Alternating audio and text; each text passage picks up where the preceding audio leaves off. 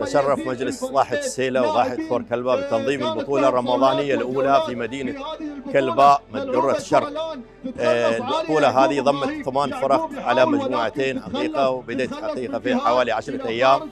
جمعت أعضاء وشباب حقيقة مدينة كلباء والمناطق المجاورة لها في جو من الحب والألفة والمحبة اللي وهذه من أدوار المجالس الحقيقة المجالس مجالس الضواحي في تنمية روح العلاقات والمودة والمحبة بين أفراد المجتمع. في جو من التنافس حقيقة الشريف بين الفرق الرياضية واللي أسهم حقيقة في وصول فريقين إلى المباراة النهائية آه، بنوع من الحماس والجدية بين الفرق المشاركة.